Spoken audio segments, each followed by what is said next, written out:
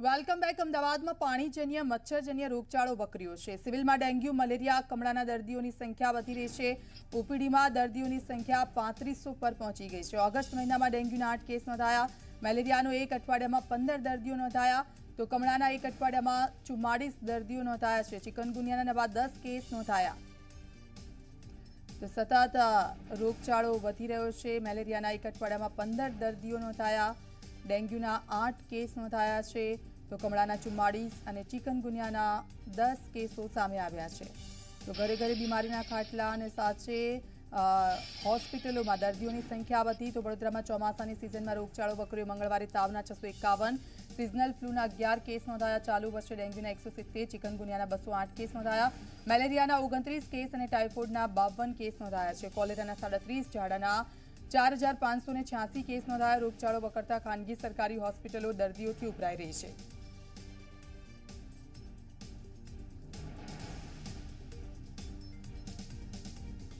તો રવિ અમારી સાથે જોડાઈ ગયા છે. સાથે સાથે ચેતન પણ અમારી સાથે લાઈવ જોડાઈ ગયા છે સુરતથી. રવિ પાસે સીધા જઈશું. રવિ, વડોદરાની હોસ્પિટલમાં સતત દર્દીઓ વધી રહ્યા છે કારણ કે રોગચાળો ફેલાઈ રહ્યો છે. તંત્ર તરફથી કોઈ કામગીરી કરવામાં આવી રહી છે. ઘરે ઘરે જઈને દવાઓનો છંટકાવ કરવો કે એવી કોઈ કામગીરી રોગચાળો વધતા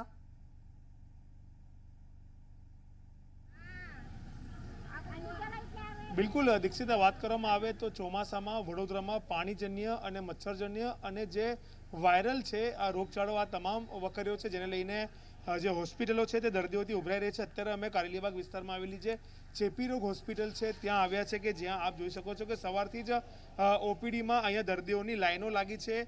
દર્દીઓ જે છે તે સવારથી જ ઓપીડીમાં તેમને સારવાર ક્યારે મળશે તેની રાહ જોઈ રહ્યા છે, કારણ કે અહીંયા એટલી મોટી સંખ્યામાં રોજ દર્દીઓ આવી રહ્યા છે કે સારવાર માટે તેમને રાહ જોવી પડી રહી છે. વડોદરામાં જે આંકડા તમે કીધા એ મુતાબિક જે રોગો છે તે આંકડા સામે આવ્યા છે. હવે કયા પ્રકારની કામગીરી થઈ રહી છે તેની વાત કરીએ તો આરોગ્ય સમિતિના જે ચેરમેન છે કોર્પોરેશન રાજસ્થાન તેમનું મોટું નિવેદન આવ્યું છે કે તમામ જે અત્યારે તબીબો છે તે અત્યારે કામગીરી કરી રહ્યા છે. આપણે શાહ સાહેબ સાથે વાત કરીશું સીધા જ દીક્ષિતા કે કયા પ્રકારની ટ્રીટમેન્ટ અત્યારે તેઓ કરી રહ્યા છે તબીબો દર્દીઓની શું કહેવું સાહેબ? ખાસ કરીને કયા પ્રકારના રોગચાળામાં વધારો થયો હાલ જે સિઝનલ વાયરલ ફીવર કહેવાય એ કેસોનું પ્રમાણ વધારે જોવા મળે છે. બાકી બધા રૂટીન જે આ સિઝનમાં હોય મચ્છરજન્ય થોડા રોગો જોવા મળે ટાઇફોઇડ છે કમળો છે એ બધા રોગો પણ જોવા મળતા હોય છે. વાત કરીએ આપણે અહીંયા જે પેશન્ટ્સ આવે છે ઓપીડીમાં કેટલો ઘસારો થયો છે? રોજ કેટલા ઓપીડીમાં દર્દીઓને તમે સારવાર કરો છો. એવરેજ આપણે ત્યાં લગભગ સોથી સવાસો પેશન્ટ રોજ ઓપીડીમાં નોંધાતા હોય. અને ઇન્ડોરમાં આપણી પાસે પચાસ બેડની હોસ્પિટલ છે એની સામે ત્રીસથી પાંત્રીસ પેશન્ટ હાલ એડમિટ છે. કયા કેસીસ વધ્યા છે? જેમ કે ઝાડા ઉલટી કમળો મેલેરિયા? મેં કહ્યું એમ અત્યારે સિઝનલ જે વાયરલ ફીવર છે એના કેસીસનું પ્રમાણ વધ્યું છે.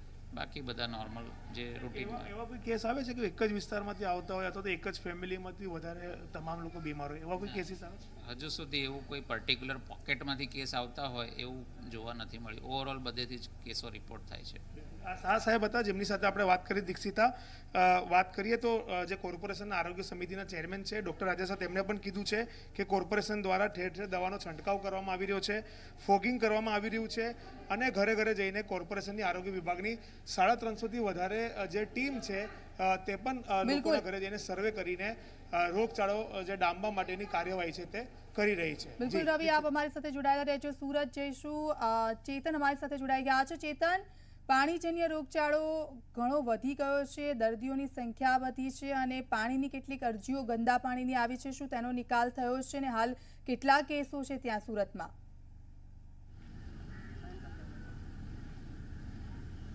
જી દીક્ષિતા ચોમાસાની સિઝન શરૂ થતાની સાથે જ પાણીજન્ય રોગ અને મચ્છરજન્ય રોગ જે છે તેને માથું ઉચક્યું છે. ખાસ કરીને આપ જે દ્રશ્ય જોઈ રહ્યા છે તે સુરતના નવી સિવિલ હોસ્પિટલના છે, જ્યાં વહેલી સવારથી જ તમામ જે ઓપીડી છે તે ફૂલ અહીં જોવા મળી રહી છે. જો ઝાડા ઉલટીની જો વાત કરીએ તો ગત માસમાં એકસો જેટલા કેસ નોંધાયા હતા, જ્યારે દસ દિવસમાં બત્રીસ કેસ ઝાડા ઉલટીના નોંધાયા છે. આ ઉપરાંત ટાઇફોઇડની જો વાત કરીએ તો ટાઇફોઇડના ગત માસમાં બ્યાસી કેસ હતા. જ્યારે ચાલુ દિવસોમાં પચીસ જેટલા કેસ નોંધાયા છે. આ સાથોસાથ જો સ્વાઇન ફ્લૂની જો વાત કરીએ તો સ્વાઇન ફ્લૂના કેસો પણ સતત વધી રહ્યા છે. એક્યાસી જેટલા સ્વાઇન ફ્લૂના કેસો અત્યાર સુધી નોંધાઈ ચૂક્યા છે, જેમાં એક જ સપ્તાહમાં ચાર જેટલા જે દર્દીઓ છે તેનું કરુણ મોત નીપજ્યું છે. બીજી તરફ જોવા જઈએ તો ડેન્ગ્યુના પણ ત્રણ કેસ નોંધાયા છે. હાલ ગંદા પાણીની જે ફરિયાદો છે તે આવી રહી છે. સતત એકવીસ જેટલી જે ફરિયાદો આવી હતી તે પૈકી સુરત મહાનગરપાલિકા દ્વારા અગિયાર જેટલી જે ફરિયાદો છે તેનું નિરાકરણ લાવી દેવામાં આવ્યું છે.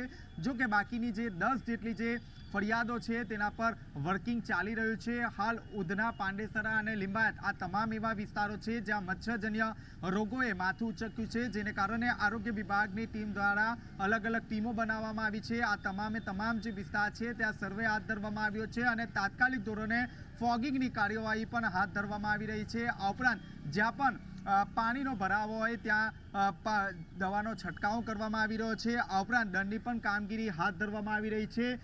સામાન્ય દિવસોમાં નવી સિવિલ હોસ્પિટલમાં સોથી દોઢસોની ઓપીડી હોય છે. જો કે હાલ જે રીતે ચોમાસાની સિઝન ચાલી રહી છે, તેને લઈને જે ઓપીડીની જે સંખ્યા છે, તે સતત વધી રહી છે. હાલ ચારસોથી પાંચસો ઓપીડી રોજે, રોજ નોંધાઈ રહી છે. બીજી તરફ આરોગ્ય વિભાગનો માથાનો દુખાવો બની ગયો છે, કારણ કે ઝાડા ઉલટીના વાવરની સાથે સ્વાઇન ફ્લૂનો કેર પણ સુરતમાં સૌથી વધુ જોવા મળી રહ્યો છે. સુરતની નવી સિવિલ હોસ્પિટલ અને સિવિલ હોસ્પિટલમાં અલાયદું વોર્ડ તૈયાર કરી દેવામાં આવ્યો છે. હાલ પણ બે જેટલા જે દર્દીઓ છે તેની હાલત ખૂબ જ ગંભીર છે. બીજી તરફ આરોગ્ય વિભાગ દ્વારા લોકોને એ વાતની ખાસ અપીલ કરવામાં આવી રહી છે કે જ્યાં પણ પાણીનો ભરાવો હોય તો તાત્કાલિક ધોરણે આરોગ્ય વિભાગનો સંપર્ક કરવામાં આવે અને દવાનો છંટકાવ કરવામાં આવે. બિલકુલ આપ બંને જોડાયા તે બદલ આપ બંનેનો ખૂબ ખૂબ આભાર. રાજકોટ શહેરમાં રોગચાળો બેકાબુ બન્યો છે. કોરોના અને સ્વાઇન ફ્લૂના કેસમાં સતત વધારો થઈ રહ્યો છે. તાવ, શરદી, ઉધરસ અને ઝાડા ઉલટીના કેસો વીસ ટકા વધી ગયા છે. સતત દર્દીઓથી ઉભરાઈ રહી છે હોસ્પિટલો. શરદી અને ઉધરસના ત્રણસો ઓગણસાઠ કેસ, સામાન્ય તાવના છન્નું ઝાડા ઉલટીના એકસો એક કેસ નોંધાયા, મેલેરિયાનો એક, ડેન્ગ્યુના દસ અને ટાઇફોઇડના ત્રણ કેસ નોંધાયા છે.